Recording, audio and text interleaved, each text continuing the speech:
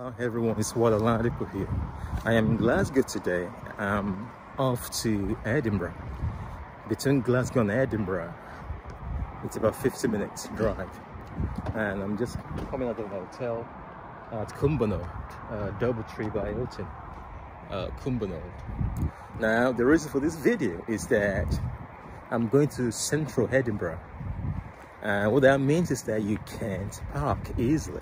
It's just like central London or central everywhere uh, regarding major uh, cosmopolitan cities. So I want you to ride with me on my EQC for this adventure of parking. Actually, I've booked the Just Park, uh, the national, multinational um, company who find parking spaces in obscure places. Trust me, these guys are, are tough. You know, they could get a parking space under the bridge, wherever, you know, in the hole somewhere. And they sell it to people. And, you know, I've used them a few times in different other cities. And they're quite okay. Sometimes it's a hit and miss. But this one is going to pose a challenge because the Just Park that got right at the heart of, of Edinburgh, near the Haymarket train station. Uh, I've, I've, I've read a lot of reviews. Some people said they paid and they did not get the space because the space is filled up. So ride on this journey with me and make sure you, you, you, you stay through. We're going to see whether we could actually find parking uh, on my with my EQC. So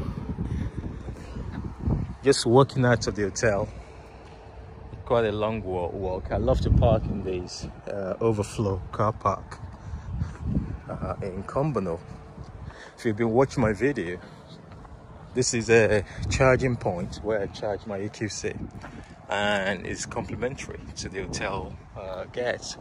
That is the EQC right there, as you can see it.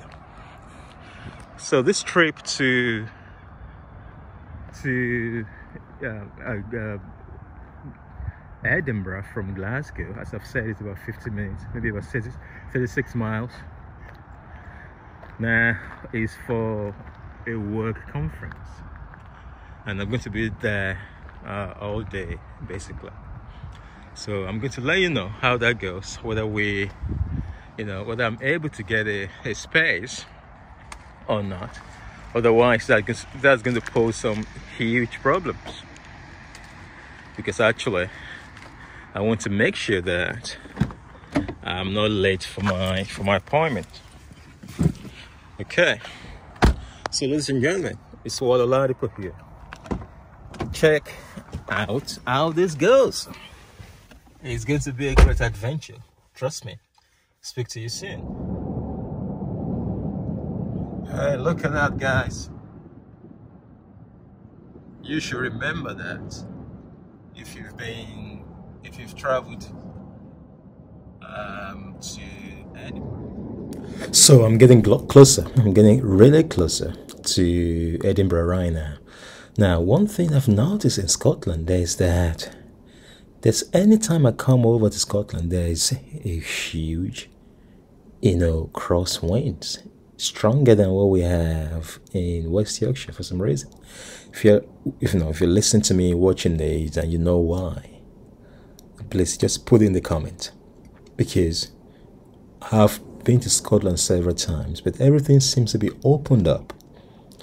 The motorways are wide open up left, right, and center. It's like there's crosswinds everywhere. And if you drive an EV, such as an EQC, because it's so quiet, on the motorway speed, a very high speed, you can hear a lot of wind noise. It's just like it's your interruption. Uh, you, you just have to, you have to turn, you know, the the radio on or turn a, you know, play some music, stream some music or something.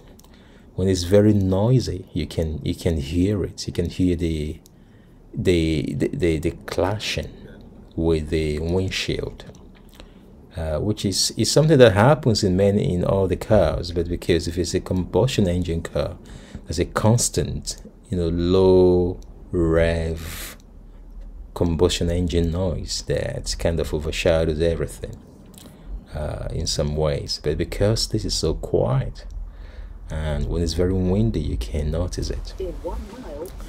and so and it's incredible. I've traveled to London from West Yorkshire, from just almost the middle in the middle of the United Kingdom uh, map, down to London several times and the wind noise coming up north to Scotland is extremely, extremely powerful, more powerful than uh, what I experience when I'm going to London. So, if you know why, that is the street I'm, where I'm going right there, on the right there.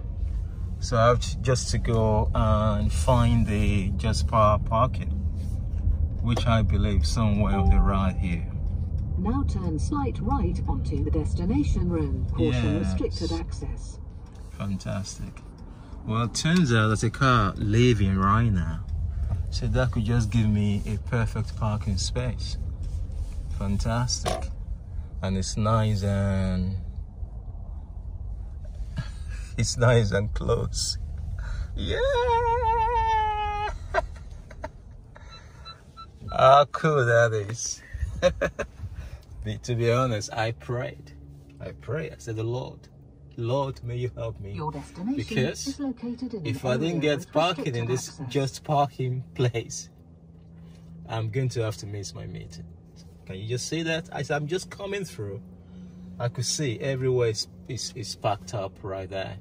Just coming in, somebody just pulled away. Wow, what a, a synchronic phenomenon the law of synchronicity.